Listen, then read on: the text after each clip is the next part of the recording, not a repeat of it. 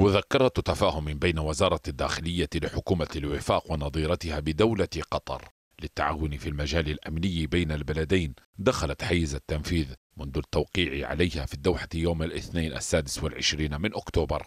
وتسري مدة ثلاث سنوات وتجدد تلقائيا لمدد مماثلة. ما لم يخطر أحد الطرفين الآخر كتابيا عن طريق القنوات الدبلوماسية برغبته في إنهائها قبل ستة أشهر. المذكرة الليبية القطرية نصت على التعاون في مكافحة الإرهاب والجريمة المنظمة وتبادل المعلومات حول التنظيمات الإرهابية وأساليب عملها وشبكات دعم الإرهاب من حيث الإمداد والتمويل والبحث والتحري والتعرف على هوية الأشخاص وتقديم المساعدة في التحقيقات.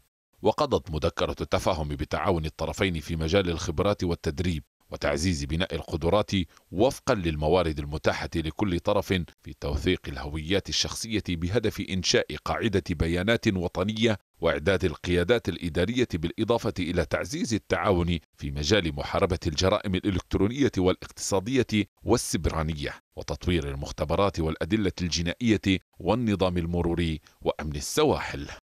ويعنى الطرفان الليبي والقطري بالتعاون في مجال مكافحة المخالفات ذات الطابع الاقتصادي والمالي من خلال تبادل المساعدات بهذا الصدد خاصة غسيل الأموال وتبادل المعلومات عن الأساليب المتبعة في التجارة الدولية غير الشرعية كالمخدرات وتفاهمت الداخليتان على تشكيل لجنة متابعة أمنية مشتركة تضم ممثلين من الإدارات المعنية لدى الطرفين تتابع المسائل الأمنية ذات الاهتمام المشترك تعقد اجتماعات بالتناوب.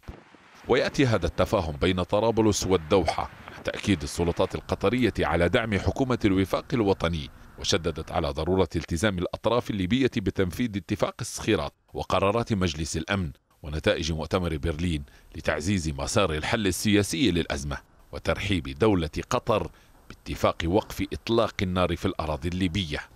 ويبقى من المهم معرفة مدى انعكاس هذه الاتفاقية الليبية القطرية على الجوانب الأمنية التي تسعى حكومة الوفاق لتحسينها إضافة إلى الشواغل الاقتصادية. فضلا عما يمكن أن تضيفه مذكرة التفاهم بين طرابلس والدوحة من مكتسبات مثل مذكرتي التفاهم الموقعتين بين حكومة الوفاق والسلطات التركية.